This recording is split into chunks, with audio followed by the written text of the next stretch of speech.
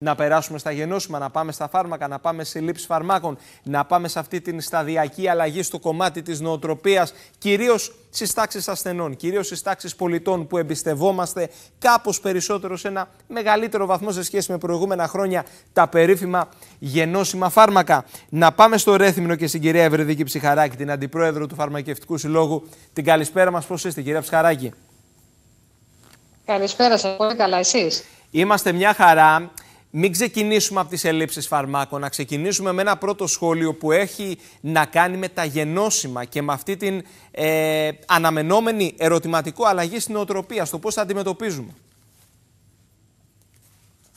Βεβαίως, τα γενώσιμα έχουν μπει τα τελευταία χρόνια στη ζωή μας. Ε, ε, συνολικά με το να είναι μέρος της πολιτικής του φαρμάκου για τη μείωση της φαρμακευτικής δαπάνης. Σωστά. Αυτό που έχουμε παρατηρήσει είναι ότι οι συμπολίτες μας ήταν εξαιρετικά διστακτικοί στην αρχή ε, στα πλαίσια του να περάσουν σε ένα φάρμακο το οποίο έχει χαμηλότερη τιμή, γιατί τα γενώσιμα έχουν χαμηλότερες τιμές από τα πρωτότυπα.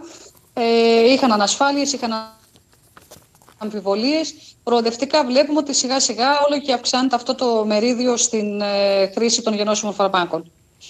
Ξέρετε, σε αυτή την αλλαγή της νοοτροπίας βοηθάει και ο γιατρός με τη στάση του αφορά αποκλειστικά και μόνο έναν ασθενή, έναν πολίτη, ο οποίος ίσως να ζητήσει αυτή την κατηγορία των φαρμάκων. Ποια είναι η γνώμη σας;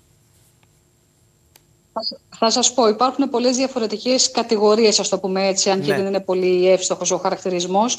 Υπάρχουν οι ασθενείς οι οποίοι είναι σε χρόνια αγωγή, οι οποίοι ε, είναι εξαιρετικά διστακτικοί και ανασφαλείς στο να αλλάξουν αγωγή, που όταν λέμε να αλλάξουν αγωγή εννοούμε να χαμηλωθεί το κόστος της αγωγής τους.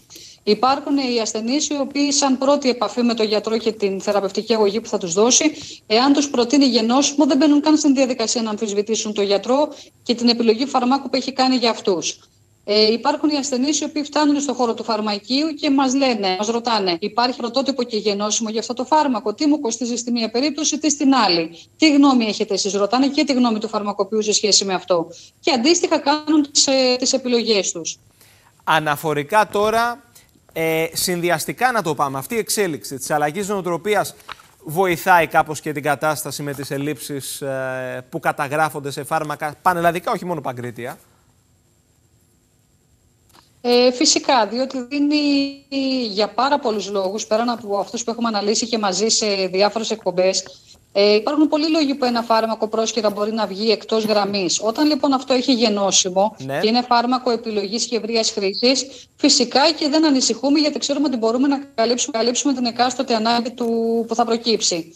Τη δεδομένη χρονική στιγμή, με το μέγεθος των ελλείψεων που έχουμε, ε, είτε, έχουμε, είτε έχουμε ελλείψεις στην ίδια τη δραστική, οπότε δεν μπορεί να παραχθεί ούτε πρωτότυπο ούτε γενώσιμο, είτε έχουμε θέμα στην παραγωγή του πρωτοτύπου, αλλά υπάρχουν γενώσιμα τα οποία μπορούν να καλύψουν τη ζήτηση. Μάλιστα. Λοιπόν, κυρία Ψυχαράκη, σας ευχαριστώ θερμά. Να είστε καλά. Ευχαριστώ πολύ για την τοποθέτηση.